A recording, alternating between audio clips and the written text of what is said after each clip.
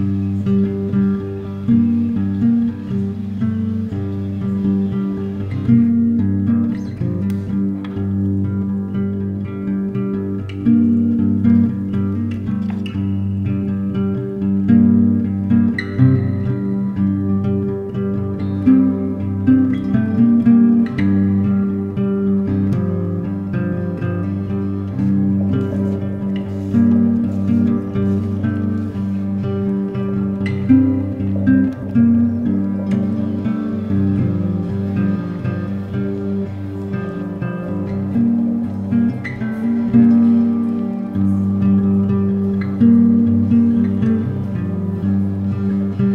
And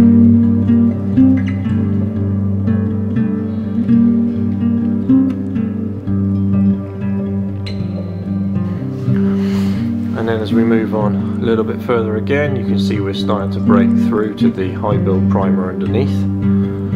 So a high spot there and then we're actually starting to get this really nice and flat so there's almost no texture there at all, really flat. And then as we move on a bit further, see that we've got some low areas here high areas where we're actually breaking right through to our um, high build primer.